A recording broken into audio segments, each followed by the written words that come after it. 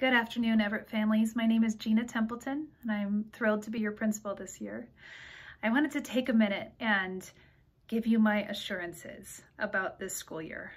I know that I and a lot of us are feeling anxious and nervous about just the ever-changing information that we get every day and the certainly atypical nature of the beginning of this school year. And I just want to say that I've, I've gotten to know this staff here at Everett over the last couple of months. And I want to give you my certainty and my confidence that they absolutely love your kids and that we will do everything in our power to make sure that they are taken care of, that they're safe, that they're seen and heard, and that they grow as learners and as people over the course of this school year, no matter what it may hold. So I hope that we can earn your trust I'm so excited to get to know all of you and all of your incredible kids. And um, I appreciate the opportunity to become a member of this wonderful community.